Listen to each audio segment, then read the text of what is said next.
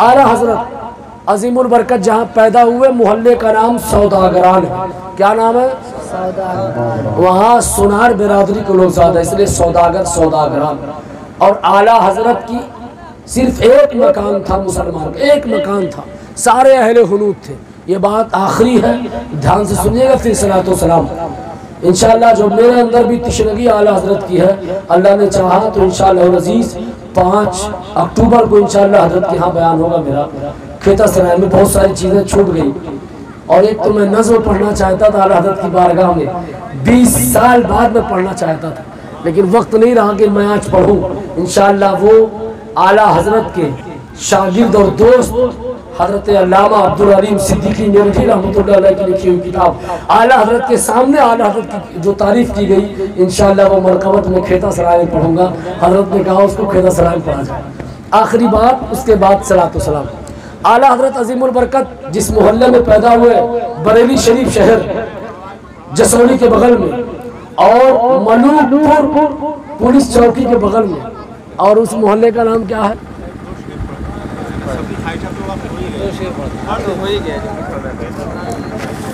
तो वो दो अशार आप सुन लीजिए, लेकिन उसके जब वजूहत बताए जाए तो उसका ज़्यादा फ़ायदा। और सरकार आला हज़रत अजीमुल बरकत जब हज करके आए, हज़रत अल्लामा अब्दुल सिद्दीकी मेरठी अलैह अब्दुल अलीम सिद्दीकी मेरठी रहमतुल्लाह वो पाए के बुज़ुर्ग हैं, जिन्होंने सैकड़ों किताबें लिखी। और आपके दर्जनों, अल्हम्दुलिल्लाह, आका की शान में नाते पाक। जब सारे उलमा फजला बशाए खुफाज जब एक जगह बैठे हुए थे तो अल्लामा अब्दुल अलीम सिद्दीकी मेरठी अलैह, जो आला हज़रत के शागिर्द भी है, दोस्त भी है, और आला हज़रत के खलीफा भी है। आला हज़रत के खलीफा भी हैं। तो आला हज़रत से अर्ज़ किया, सरकार, मैं कुछ पढ़ना चाहता हूँ। कहा, बेशक आप पढ़ सकते हैं। तो आला हज़रत की शान में उन्हें मन, उन्होंने मनकबत पढ़ी। वो मनकबत तो सत्रह अशार में है। मैं दो शेर आपको सुनाता हूँ और तीन शेर, वरना बात रह जाएगी। तुम्हारी शान है जो कुछ कहूँ, उसके सिवा तुम हो। तुम्हारी शान है जो कुछ कहूँ, उससे सिवा तुम हो।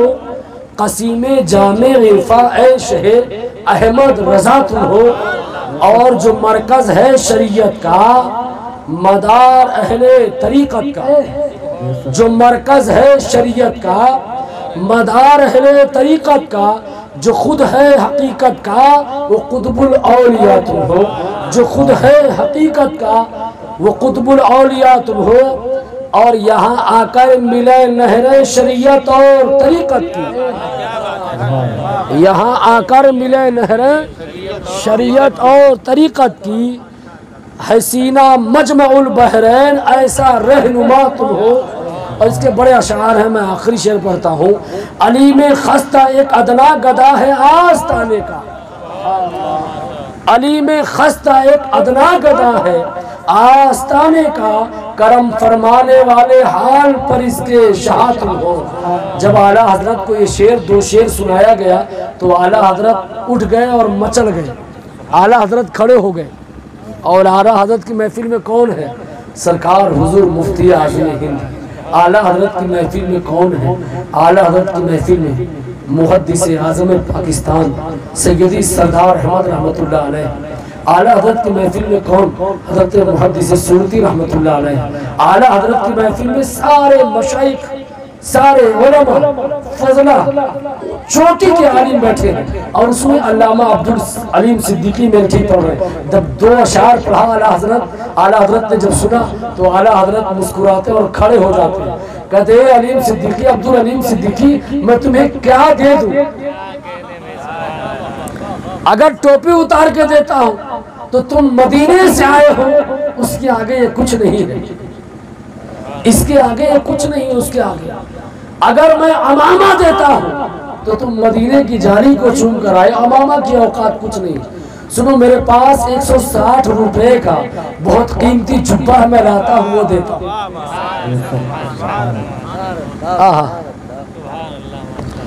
सरकार आला हज़रत शाह इमाम मोहम्मद ख़ान रहमत रिजवान। अपने हुजरे में जाते हैं और आला हज़रत अजीम बरकत ने अब्दुल अलीम सिद्दीकी मेरठी के जब कंधे पर रखा तो हज़रत अब्दुल अलीम सिद्दीकी मेरठी के माबैन का बयान है कि अब्दुल अलीम सिद्दीकी की हिचकियाँ बच गई। तो सरकार अब्दुल अलीम सिद्दीकी मेरठी सरकार आला हज़रत को अपने सीने से लगा के बेशुमार बेइंतहा रोने लगते हैं और कहते हैं मेरे आका ने मुझे कबूल कर लिया। मुझे यकीन है कि मदीने वाले आका ने कबूल किया। और बताओ आला हज़रत कैसे सच्चे आशिकी गौसे आज़म थे। आला हज़रत फातिहा कर रहे थे गौसे आज़म की नियाज।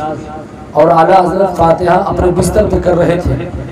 और चादर शरीफ एकदम उमदा बिछाकर और जारमाज बिछाकर, मुसल्ला, आला हज़रत ने जब तबरुक, फातिहा जब मुकम्मल किया तो सब ओलमा बैठे हैं फजला शेख, मशाइख निज़ाम बैठे हुए चोटी के ओलमा आला हज़रत उठते हैं, अपने बिस्तर से सारे आलिम खड़े हो जाते हैं, आला हज़रत झुकते हैं, अपना दोनों हाथ अपने कमर पे रखते हैं, और ज़मीन पर टेक लगाते हैं, और अपने होठ के नोक से आला हज़रत ने उस तबरुक को उठाते हैं, जो बांटने वाले के गलती से ज़मीन पर तबरुक किए गए थे।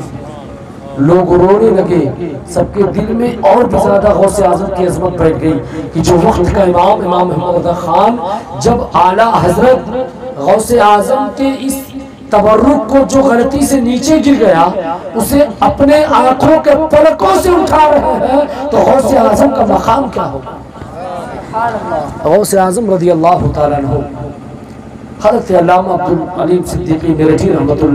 खुश होते हैं। फरमाते हैं कि मैं कभी इतना खुश नहीं हुआ जितना मेरे पीर मुर्शिद ने मुझे आता किया जब से मैं खुश हुआ।